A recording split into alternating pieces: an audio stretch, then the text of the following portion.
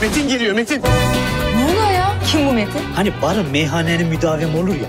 Peki hastanenin müdavim olur mu? Olur işte.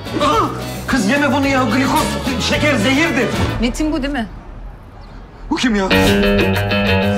Lan! Ne? Yine hiçbir şeyin yok Metin. Allah Allah. Olması lazım. Bakırköy'de senin hastanen, Bakırköy'de. Allah Allah.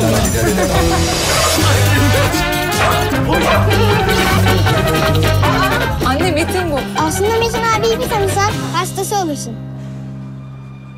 Yarın saat 9'da camda olur musun? Olurum olmasın o kadar zor bir şey değilmiş ama Söz mü? tamam. Söz. Hadi görüşürüz.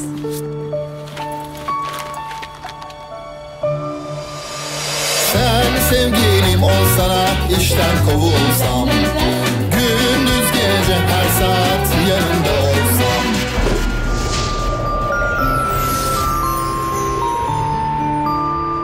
Lan! Yakacağım bizi.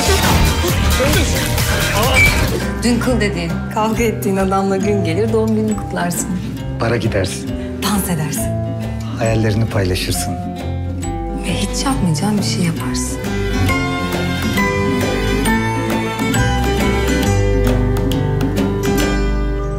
Ben seni her şeyden çok seviyorum. Benimle evlenir misin? Hayat... Hayat gitmiş Charlie. Öyle gitmiş. Metin o kızın sana çok ihtiyacı var. Onu bul oğlum. Evet. Ben bu yaşıma kadar kendimden başka kimseyi merak etmemişim. Ama şimdi onu nasıl olduğunu, nerede olduğunu öğrenmek için her şeyi yaparım.